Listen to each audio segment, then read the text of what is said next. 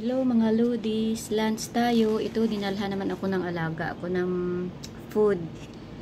Yung ano yung isda na mayroon siyang broccoli, mayroong beans, mayroong ah, red onions, and then fish, and then tomato.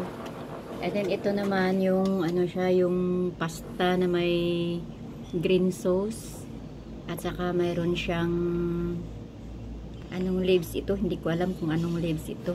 Basta nilalagay ito sa ano sa salad. Tapos meron din siyang vegetables. Kain tayo, guys. Pasta.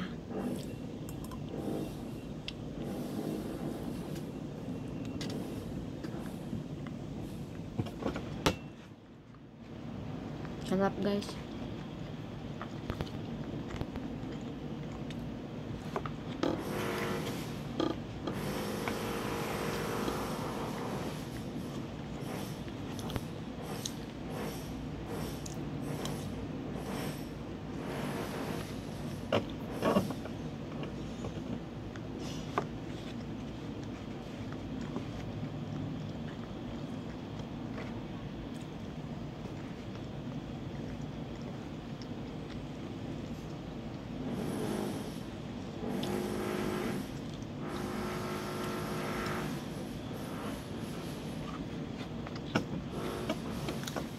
Parang wala ako sa ano, guys.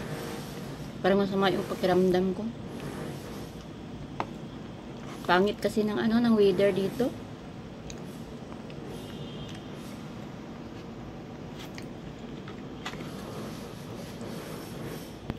Tapos mula kahapon sa labas ako eh. Tapos kaninang umaga, ang aga ko rin umalis. Bumalik ako dun sa office. Kain tayo. Nakalunch na kayo.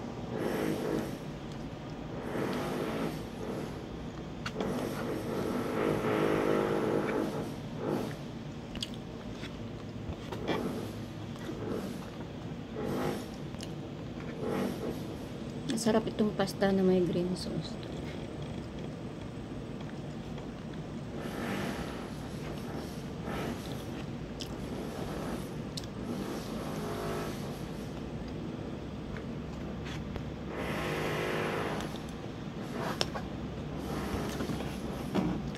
Ito lang yung lunch ko, wala ng kanin.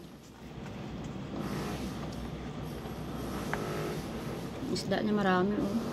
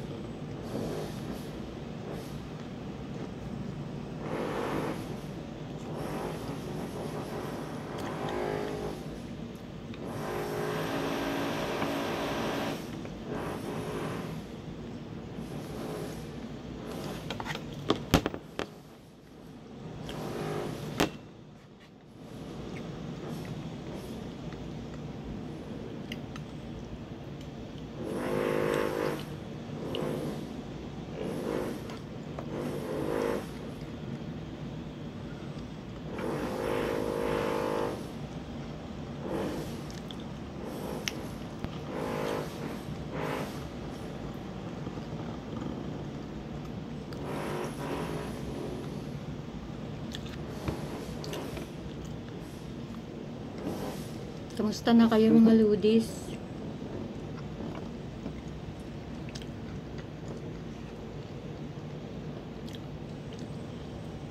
Maingay dito sa place namin. Kasi may nag-renovate sa taas. Sa 36th floor.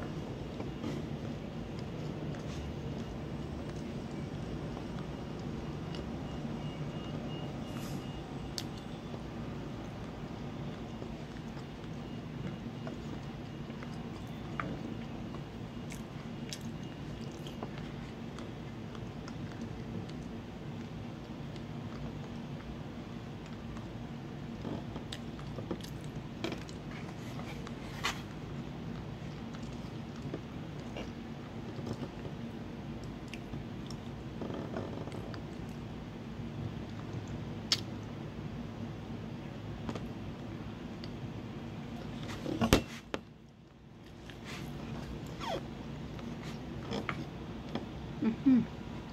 Mm.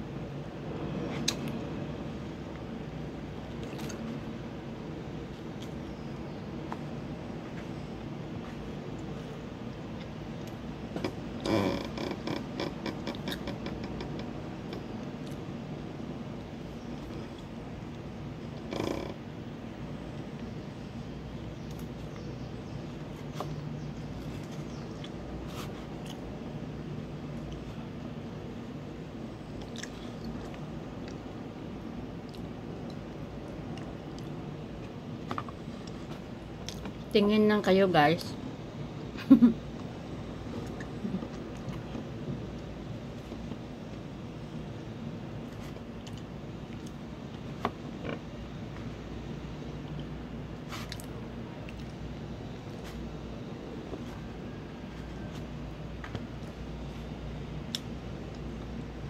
Dami.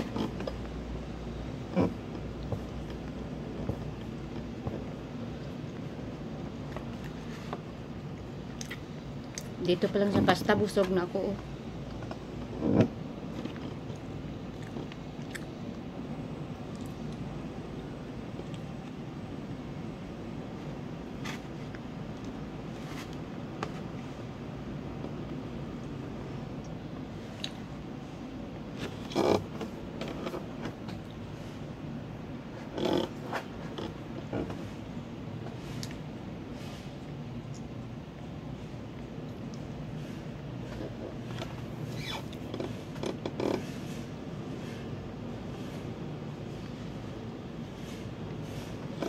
Mga alaga ko kasi mahilig kumain sa ano sa restaurant. Pero nung ano nung pandemic, oh my god. Kakapagod. Breakfast, lunch, dinner dito sa bahay.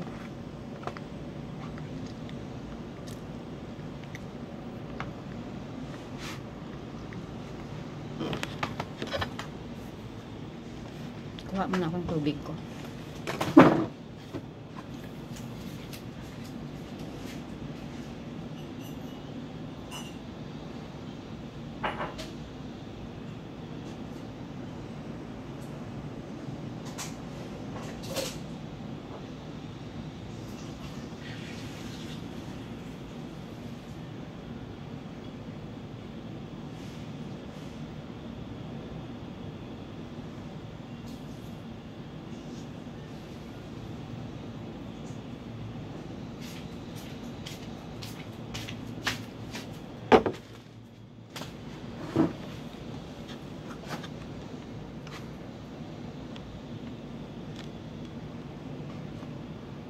Kulay guys.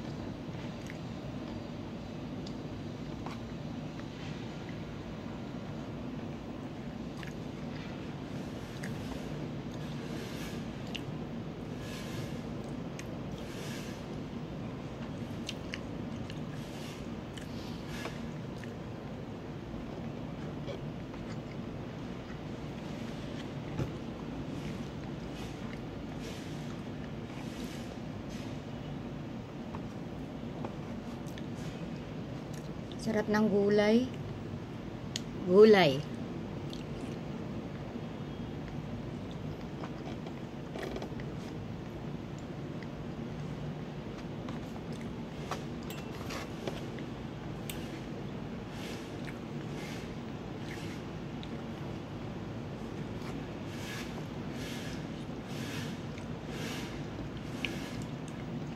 Ayan, ang dami, oh. Ay, nako. Sino may gusto? Bigay ko to sa inyo. Hindi ko maubos. Dami.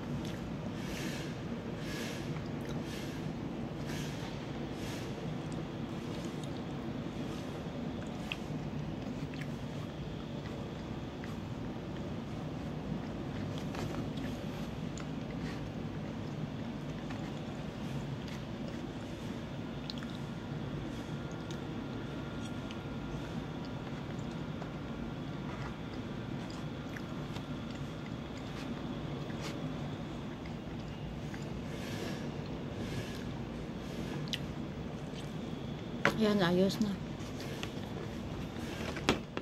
Paano ito? Yan.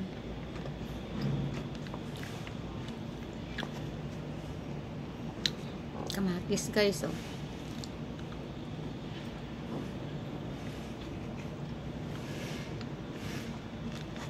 Sarap din. Mayroon pa siyang ano, mm, ano ito siya.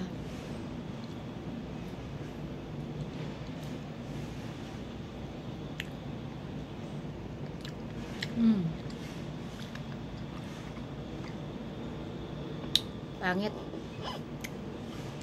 Pangit ng lasa. Kamatis yung sa akin.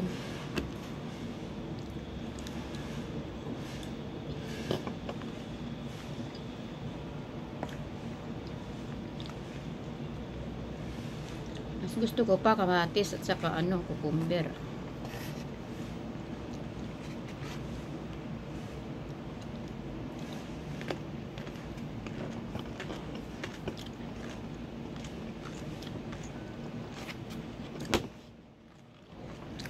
Amang isda.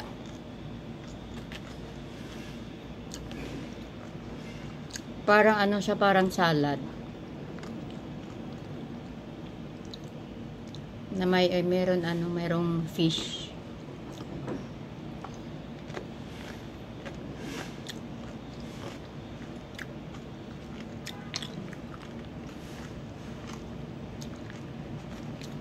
Kasi meron ding mga leaves, oh.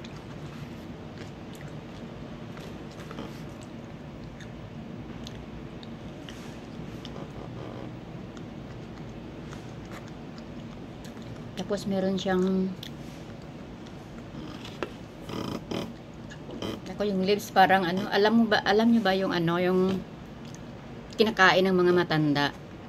Yung sa amin minamama, yung buyo.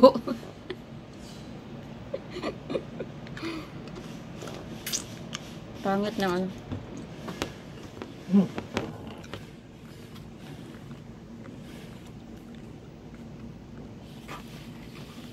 Meron siyang ano, sheet paper. Yung bill paper ba? Tapos cucumber.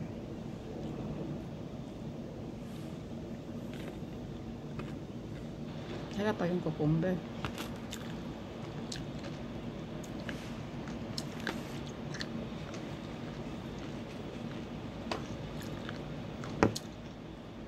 Tapos meron siyang Japanese na broccoli.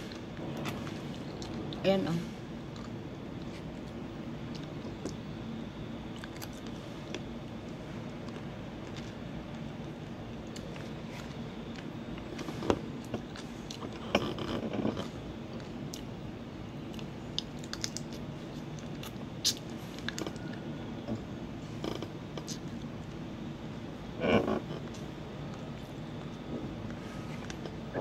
Salad pala ito guys. Fish salad with some vegetables.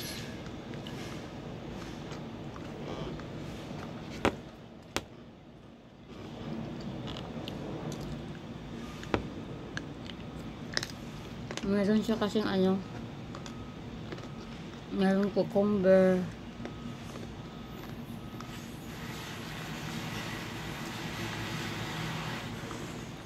may onions,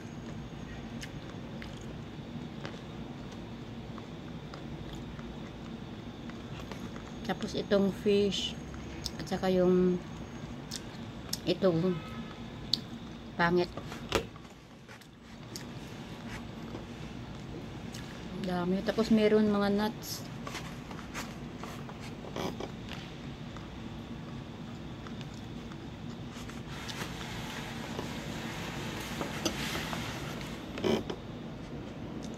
Cucumber.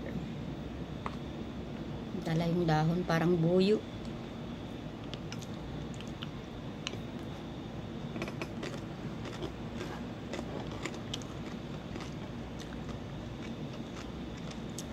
Tapos isda.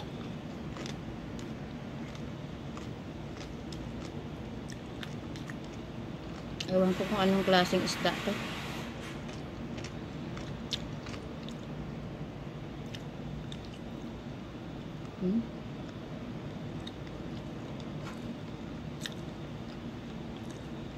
Masarap din.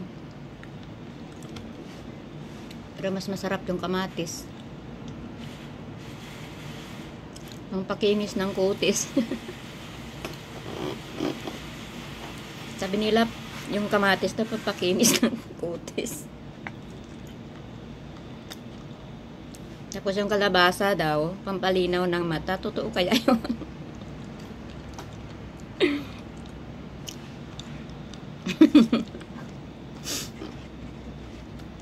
Naalala ko tuloy yung ante ko at saka yung asawa niya noon.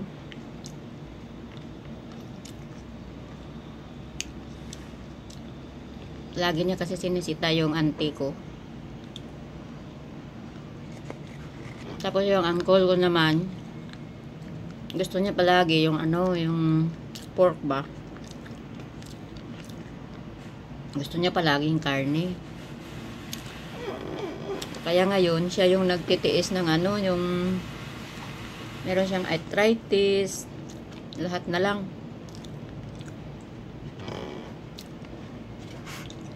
Kaya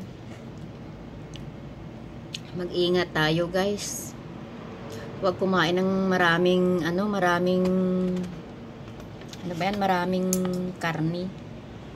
Hindi maganda yun sa health natin. Lalo na yung ano, yung may fat. Kaka-high blood yun. Kaya yung uncle ko ganyan ngayon. Pag nag ano, pag naglakad, hindi masyado makaano maglakad. Kasi yung sakit niya komplikasyon na. Tapos namamaga yung paa. Lalo na noong ano pa, nung binata pa daw siya. Pala ano, pala inom. Kaya sa mga bata pa dyan, sa mga binata, sa mga may, may, may mga asawa na huwag uminom ng marami. Kailangan yung makaano lang ng pagod nyo ba? Makakuha yung pagod.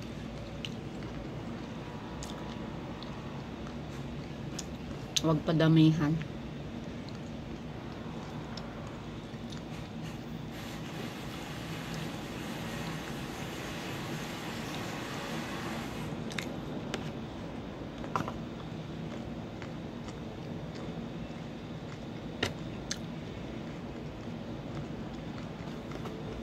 Kailangan pang nagkain ka, balance yung kain mo. Tapos kunting rice lang. Mas mainam na mas marami yung ano yung fish at saka gulay. Good for health 'yan.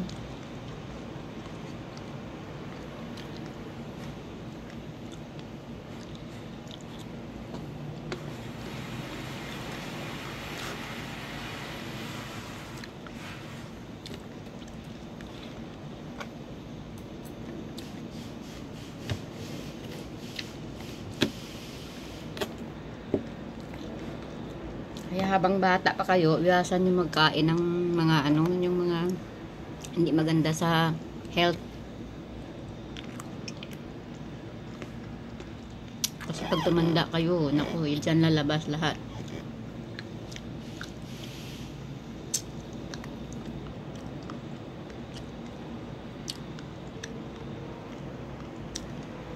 kailangan i-care mo rin yung ano mo, yung katawan mo. I-care mo yung health mo.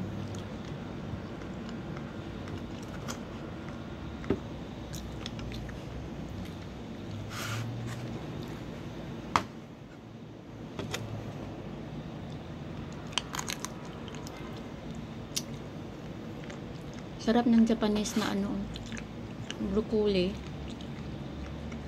Japanese daw to eh. Matamis-tamis.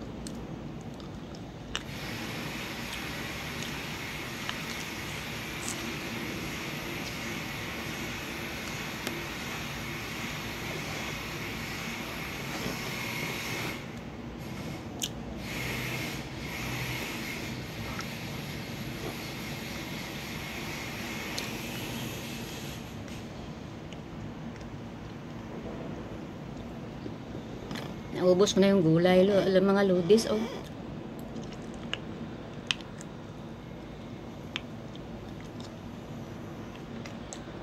Yung isda, marami pa, oh.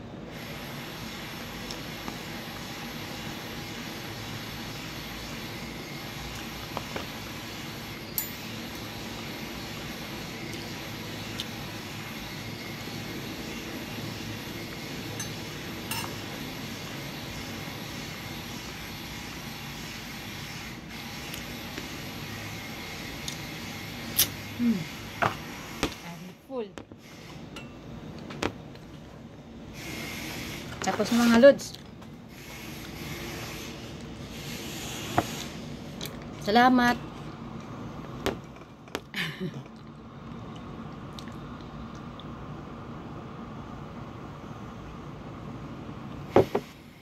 Salamat sa pagpanood nyo habang ako'y kumakain. Shout out pala sa mga new subscriber ko dyan. Hindi ko naman kayo maano, hindi ko naman kayo hindi ko ma-memorize yung mga pangalan nyo. Salamat sa pag-subscribe ha. Balikan ko kayo mamaya. Ingat kayong lahat.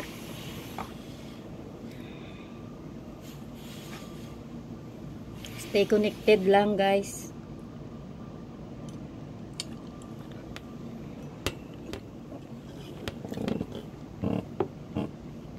Stay safe and healthy.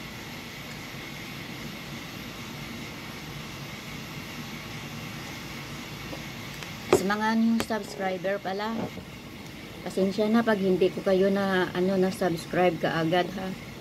Kasi si Lolo kasi kinakain yung ano, hinuhulog niya, nanlalagas niya, nilalagas niya pala. Kaninang umaga eh may tatlo yata na nag-add sa akin.